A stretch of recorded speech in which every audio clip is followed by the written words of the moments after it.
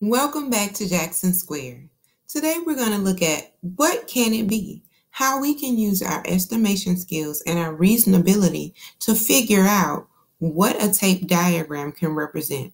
So I'm going to teach you how you can learn or how you can estimate a range of what your answer could be. So let's look into this first problem. First of all, we see that it's broken into two sections. So that means it's broken into halves. We see that more than one section is shaded, right? And part of the sec second section is shaded. We know that half would represent 50%. We know that more than 0% is shaded, but we know that less than 100% is shaded. What could this be? What percentage could this possibly be? So we want to create a range, like I said. So we know if we had a multiple choice list, we would know that our answer has to be greater than 50%, but less than 100%. We want to make sure that our answer is reasonable. Could this shaded section represent 90%? No. Could it represent 30%? Definitely not. Could it represent about 70? Maybe. So we want to make sure that we're having reasonability when we're choosing our answer. Now, what if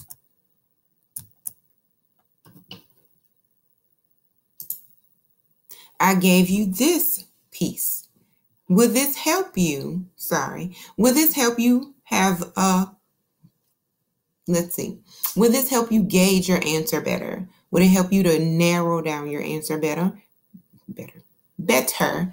Let's look at it. So the next part underneath it is broken into how many sections? Three, four, five, six, seven, eight, into eights. Okay. So if we know anything about our eights, we know that each one of these sections is about 12%.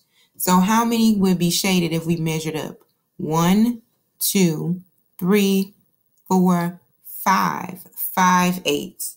So if you've been studying and paying attention, you know that 5 eighths represents 62.5%. So 62.5%. 62.5%.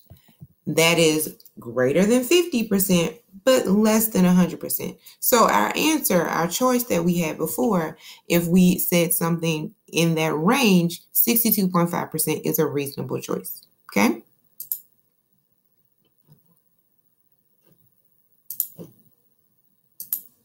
What about this one? Let's take a look. What can it be?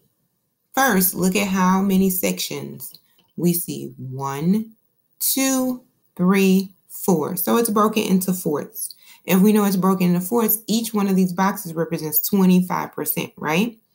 Well, we see that one box is shaded and part of a second box is shaded. So if that one box is shaded, that one portion represents here 25%. Okay. We know that more than 0% is shaded. And I think it's reasonable to say that less than 100% is shaded, right? 100% is definitely not shaded. We can also say less than 75% is shaded. And here, this is 50%. So based on that, we start getting our range. Our answer has to be what? Greater than 25, but less than 50. So somewhere in there. Could our answer be 30, 40%? Could it be 47.9%? It could. What's not reasonable? 99%, 80%, 13%. Those are not reasonable answers. Okay. So we know that our answer has to be greater than 25, but less than 50. See, I put a range in here for you. My answer has to be greater than here, 25, but less than here. So somewhere in here, if we have multiple choice, we would be looking for an answer that seemed reasonable. Now, what if I gave you this part? So take your time and count how many sections that is, okay? So when you count, hopefully you got that it was 16. So then we can say one, two, three, four, five. Five out of 16 is shaded.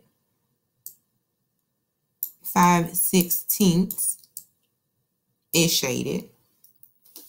If you wanted to go into depth, you could do T-bow and figure out, um, you know, what each, what is 5 sixteenths, what percent that is to be really sp- sp- sp- specific, if you wanted to be specific. So because it's 16 boxes, you would take 100% and divide it. So you would take 100%. Sorry, guys, I'm writing with a mouse.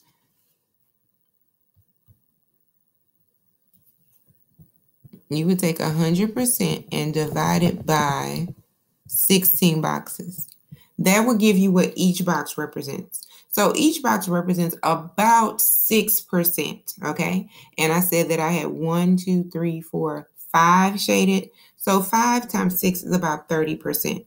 So if we wanted to be really accurate, this would represent, the shaded portion represents, actually, it represents 31.25%. 31.25%. Okay. So that is in our range, right? We said greater than 25, but less than 50. So 31% is in that range. So what can it be? Let's have some reasonability when we're figuring out what it can be.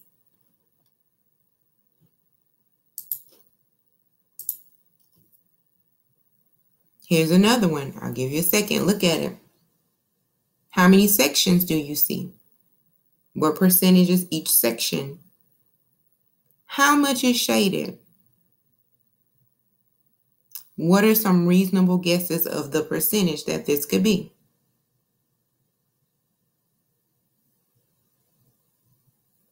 So my first observation is it's broken into three sections, right? To thirds. I know that more than 0% is shaded, right? More than 0% is shaded. I know that less than 100% is shaded because this is 100%.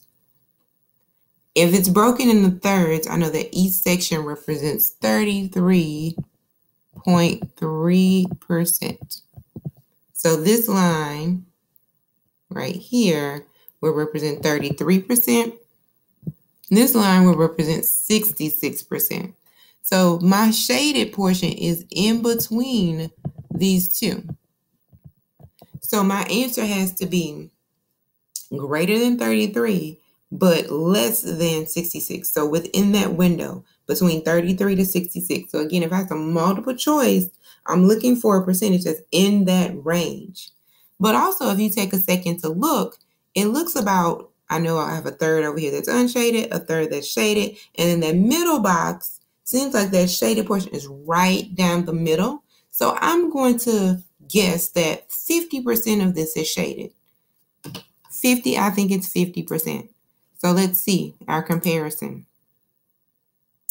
What? So we have one, two, three, four, five, six boxes, right? And three out of six would match up to be shaded. So three out of six is one half. So we were right on with our guess if you said that half was shaded. And again, half is what?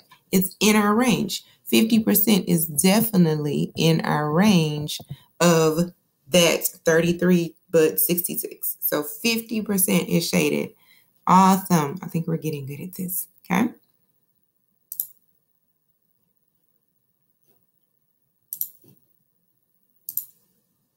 What can it be? Take a second, look at it. How many sections? How much is shaded? How much would each section represent?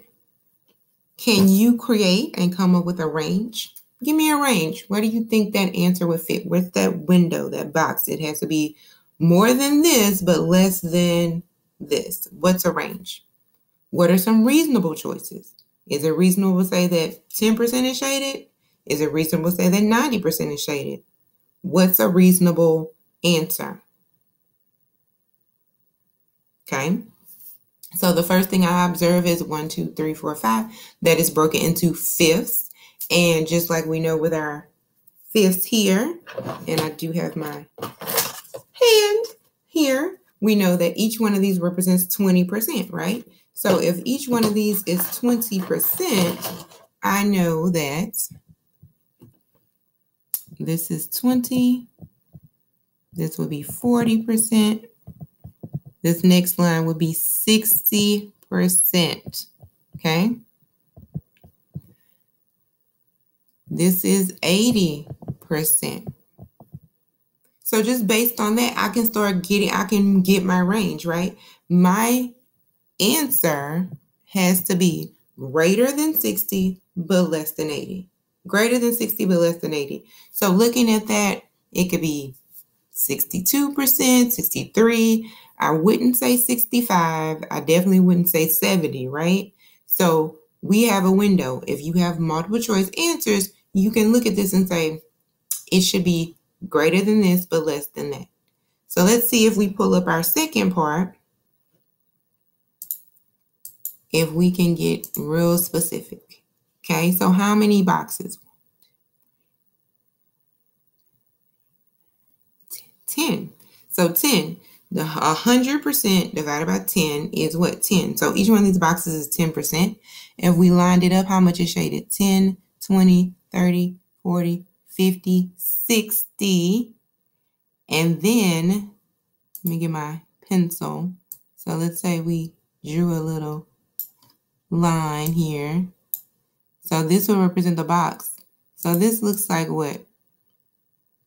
Not perfect, but about half of that box is shaded. So um 65%. I know I said it probably isn't 65%. I think I said that, but it is 65%. So it's um half of one of those tent boxes. So six of them are shaded and half of the other one. So that would make 65%. So again, that's in our range. Greater than 60, but less than 80. 65% is shaded. So I hope that you guys are getting a hang, the hang of this, and it's making sense of how to figure out what it is. What can it be? What can this be? Look at the sections look at our benchmarks or our estimation points. We know it's greater than zero. We know it's less than 100. We know it's greater than 50. What could our range be here? So, what do you think? What do you think it is? Do you think it's 70, 80, 90, 82.3? What can it be? Give me your best guess. What do you think that this is? Well, this is our last one. We don't have a comparison, but I think that you guys got it under control. Good luck and let's practice.